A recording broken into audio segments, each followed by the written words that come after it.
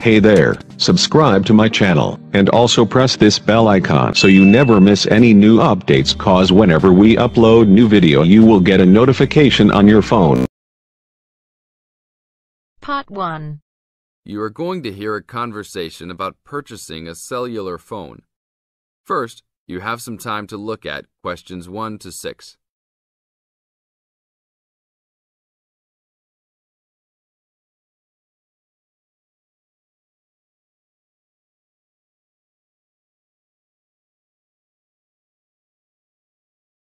Now listen to the tape and answer questions 1 to 6. Excuse me, can you give me some information about purchasing a cellular phone? Of course, my pleasure. We carry all sorts of phones, from the most basic phones to very sophisticated web-enabled phones. I will do my best to help you find a phone that suits your needs. Thanks. I'm looking for two cellular phones, one for me and one for my son. I think I won't need anything too sophisticated, just your basic phone functions. But maybe my son will like something with more functions. Sure, well, let's take a look. So you have no preferences at all? What about the size or colour? How about the brand? Well, I don't really care what brand the cell phone is, but I guess I don't want anything that's too big or too small. I want a phone that can fit nicely in my hand and in my pocket. If it's too big, it might be too heavy, and if it's too small, I might lose it. Colour, I don't really care about either. Well, I don't want a pink phone. Ah, okay, so let's look for something suitable for a working person. How about this one? This one is the R55.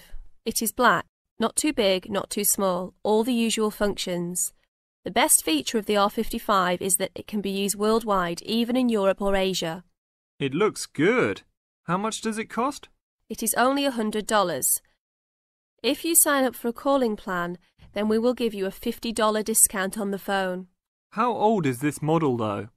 I don't want anything that's too old. This model was introduced into the market about three years ago, so it is a bit older, but be assured it will still work fine. Well, I think I still want something not as old. How about from last year? Any good phones from around that time? Yes, there are some. How about this one? It's the new model of the phone you just looked at, called the W55. Most of the features are the same. There are some new features on the W55 though. The battery will last up to two days longer, and the overall weight of the phone is lighter. How much is this one? This is selling for $150. If you purchase it along with a phone plan, then it will be only $100. Okay, I think I'll take this one. Now, I need to pick up a phone for my son.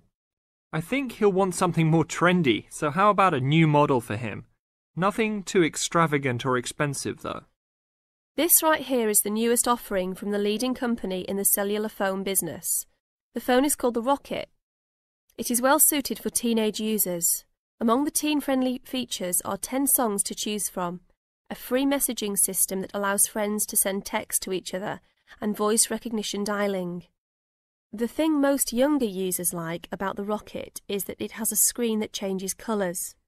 All this for only $100 with a purchase of a one-year phone plan. Sounds like something my son will like. Can I sign us both up at once? Yes, of course. Both of you can share one plan. You will pay only $50 a month for both of you to share a plan.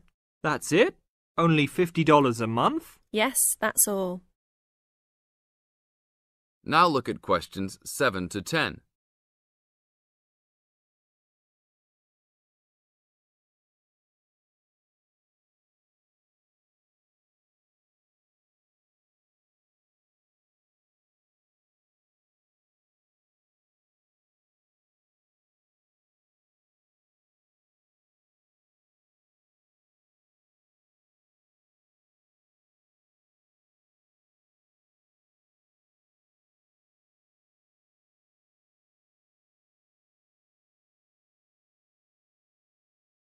Now listen to the tape and answer questions 7 to 10.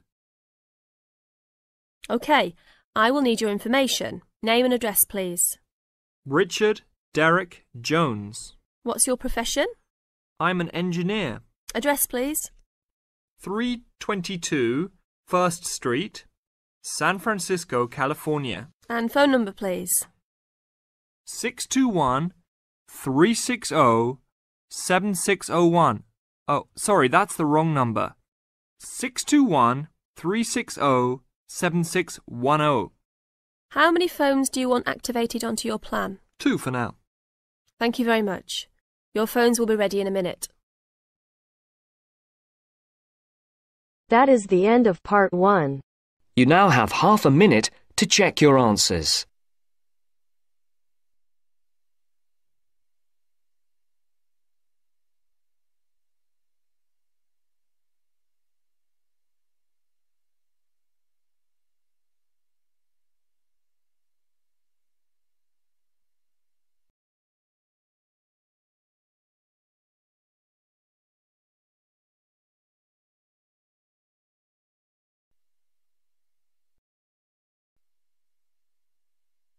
Now turns to part two. Part 2. You will hear a salesman giving information to house owners about an alarm system. First, you have some time to look at questions 11 to 16.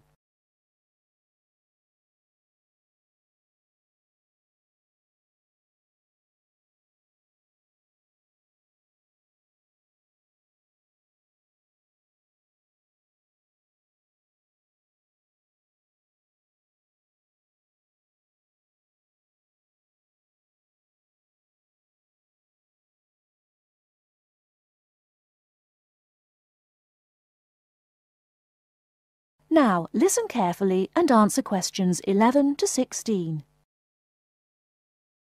Thank you for inviting me to your residence meeting. My name is Martin Pugh from SafeCell Alarms. I'm going to explain a little bit about home security, and I hope you'll all feel a bit better informed, and perhaps that you will even purchase one of the alarms we sell. It is all too easy these days for people to break into our homes. Did you know that 25% of all burglaries are committed by burglars breaking and entering via the back door?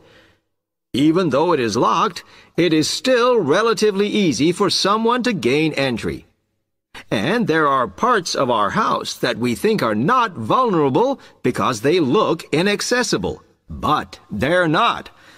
So, if you're trying to protect your home, you should make sure the top floor is covered by that protection, not just the ground floor. We believe that the only way to secure your property is by having an alarm fitted. Just having the alarm on the outside can put burglars off. And we also recommend that you warn them about the alarm. To do this, we suggest you stick a sign in the front window of the house so it can be seen clearly. This alone should be enough to dissuade a burglar before they start. Now, our company has a range of alarms on offer, and I brought several along for you to see tonight. But let me just explain a few things about them. First of all, all of our alarms are highly visible. They're colored red, and on the underneath, there is a blue light, which you can see whether they are switched on or not. This acts as a deterrent to burglars who can see it as an active alarm system. Like most systems, our alarms are very sensitive, so you do need to look after them. You may be surprised to hear that a cat can often slink around unnoticed under the infrared beams, but a spider crawling across them will set them off. Also, our system is a little different from some. Most companies offer an option that connects their alarms to the police station. All our alarms have an automatic link to our company office. This means we can deal with a situation promptly and can sort out any alarms that have gone off by mistake. Before you hear the rest of the talk, you have some time to look at questions 17 to 20.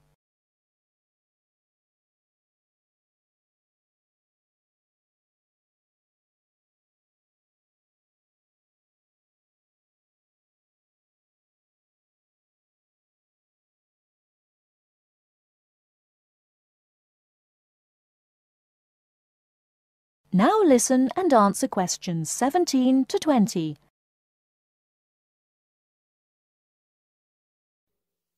Okay, let me tell you about the installation of our alarms. Later on, I'll show you some house plans and diagrams of how the alarms operate. But you don't have to worry about them being intrusive, as we normally put them in hallways rather than individual rooms. The diagrams show you how the beams work to cover the whole house in this way. Oh, one small thing while I remember is don't leave your security code in your house. A lot of people keep it in the kitchen or their study, but we suggest you leave it with a neighbor so that if there is a break-in, the burglars can switch the system off. Now, regarding the practical aspects of installation, I know that many of you are out all day, and I'm afraid we don't install the alarms at weekends. But we do offer a service where we can fit the alarm system in the evenings for you. But we do charge a little bit extra for that. Finally, we do offer a range of systems, so I suggest you look at the leaflets on our prices. And please don't be put off from investing in a more sophisticated system to protect your home, as we do allow you to set up a monthly payment if it's too much in one go. Okay, now if you'd like to come forward.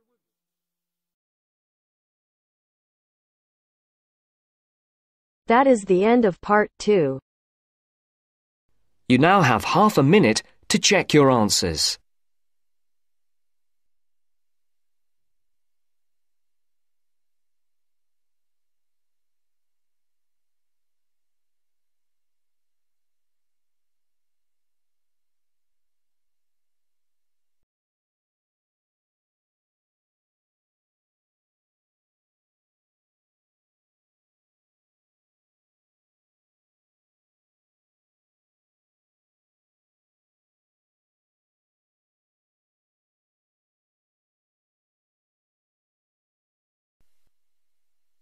Now turns to part three. Part 3. You'll hear an introduction about canoeing. First, you have some time to look at questions 21 to 24.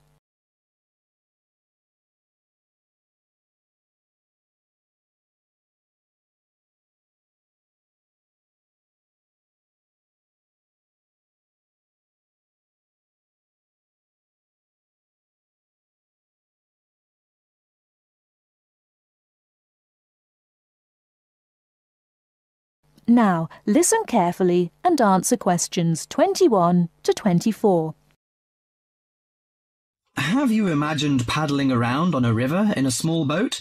Canoes, which are narrow boats and usually hold one or two people at the most, are particularly well known for being unstable and turning over in the water. But more and more people enjoy this dangerous sport. Today, Cynthia Bocci, an adult education teacher and an addict of canoeing as well, will share her experience of canoeing with us. Cynthia, when did you begin this sport? Well, I started it six or seven years ago, and soon I got attracted by the exercise. I have to admit that it brings me great fun. It's become part of my life. So, could you describe how you do it? At first, I think you need some like-minded friends. The friends who share the same interest with you. It's no fun at all if you canoe alone.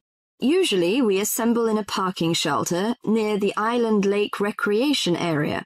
We pull our canoes from inside the vans, lift them from atop the cars and trucks, and attach wheels to help transport them to the shores of the lake beside the boat dock. What equipment do you need for the sport? Well, first and foremost, a canoe, of course. The price ranges from £300 to £700, depending on the material they're made from. The more you can pay, the better, really. Personally, I wouldn't look at anything under £500, but that obviously depends on your budget. You also need a hard helmet to protect yourself against rocks when you fall out of the canoe, and believe me, that is very likely to happen. Because of this, it's a must for a beginner to wear a wetsuit. Oh, bathing suits don't work really. Sometimes a life jacket is a necessity in case you fall into water and no one else is nearby. Before you hear the rest of the talk, you have some time to look at questions 25 to 30.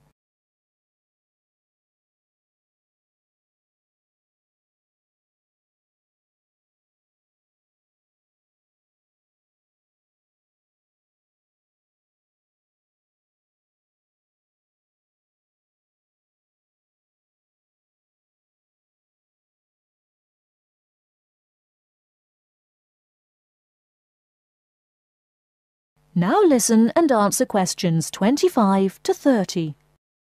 Think it's all worth it? Absolutely. I just love it. It's exciting, exhilarating, yet it's peaceful and it's calm. You can work as hard as you want to, or you can take it easy. In addition to having fun, canoeing offers a workout without realizing you're working out. Besides being a great exercise, which is good to heart and lungs, you gain strength and mobility. You build strength not only by paddling, but also from lifting and carrying your canoes. You can also exercise your mobility. Frankly, I never had upper body strength until I started canoeing. Now I can pick my canoe up and carry it on my shoulder with no problem. However, it's not just a workout of the upper body, but also a total body workout. If you're doing it correctly, it's a great calorie burner. And more important to me, paddling isn't strictly about exercise. It's as much about the peace and relaxation that comes from being out on the water. I saw it described on a brochure as liquid medicine for the soul, and that is so accurate. It allows you to take a mental break from your ordinary routine. It's a lot of fun and you meet a lot of great people. We connect on the waterways by responding to email invitations, posting on websites and club announcements. Also, it's a great way to get an up-close view of nature. You can sneak up on wildlife. I've been right next to ducks, deer, and all kinds of birds. You just get a different view than you can get on land. I especially enjoy camping by canoe. It's like backpacking without having to carry a pack on your back. You can put everything you need in the hatches of the canoe. Have you experienced this kind of camping? Well, whatever you say about this sport, it's never dull. I think on one level it's a serious activity and you can become a real champion, but it's a small group who take it that far. But for most, it's a fantastic sport for anyone who likes adventure. That is the end of part 3. You now have half a minute to check your answers.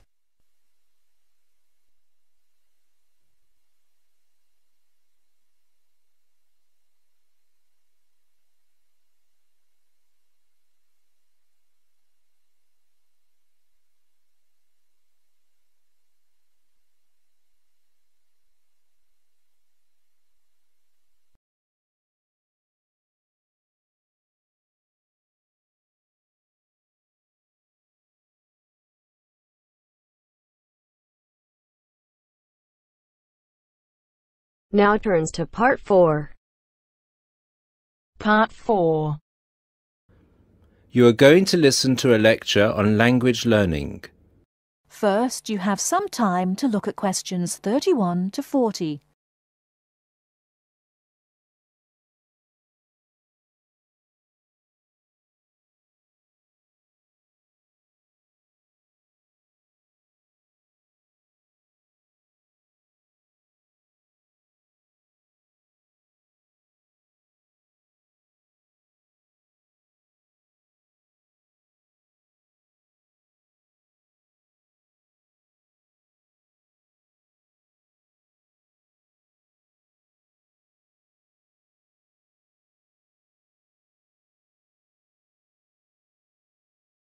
Now listen carefully and answer questions 31 to 40. This is the first in our series of lectures on language learning. The topic I'd like to deal with today is What makes a successful language learner? There's been a lot of research into what makes some people learn a language faster than others. In this lecture, I'll summarize the main findings of the research into the subject. There are many factors that influence how quickly one learns a foreign language, of which exposure to the target language seems to be one of the most important factors to consider. It's this factor which determines the speed of learning a language, especially among those people who learn a foreign language outside the classroom. There are more people who did not learn a second language or a third language in the classroom, and I think that understanding how learners successfully learn languages without the help of a teacher can provide us with the key to how to become a successful language learner. Let's look then at the characteristics of a successful language learner. Motivation seems to be one of the key factors. Research into motivation has identified two main types, instrumental motivation and integrative motivation. Instrumental motivation is the kind of motivation that encourages people to learn a language for practical reasons, such as getting a job or passing an examination. Learners with this kind of motivation intend to use the target language as a tool or instrument to help them achieve a goal. Integrative motivation is what encourages learners to learn a language in order to communicate and socialize with others who speak the language. The primary aim for learners with integrative motivation is to use the language to integrate and identify with the community that uses the language. Immigrants, or people who are married to speakers of another language, are motivated in this way. Although most people have mixed motivation, research into language learning and acquisition suggests that integrative motivation produces much better results and is an important characteristic of successful language learners. Personality is another important factor in language learning. One does not need to be an extrovert to learn a foreign language, but willingness to experiment and take risks is essential. Introverted or anxious learners who are afraid of making mistakes find it harder to learn a language. Good language learners will try to experiment with different ways of learning vocabulary or grammar until they find the way that suits them best. Language is a complex system. Successful language learners often design complex learning systems to master a language. They think about how they learn and organize their learning accordingly. They develop their own learning style and use a range of learning skills such as efficient revision techniques, systems for learning and organizing vocabulary, the ability to monitor their own speech, and the ability to plan their learning. Finally, age is another major factor to be borne in mind. Children seem to be in the best position to learn a foreign language rapidly and with the best results. Older learners can also be very successful and become proficient at using a language. Adult learners who make decisions about their learning and are independent of the teacher, who are analytical and aware of how they learn, and who take responsibility for their learning, stand a very good chance of learning a foreign language successfully. That is the end of part 4. You now have half a minute to check your answers.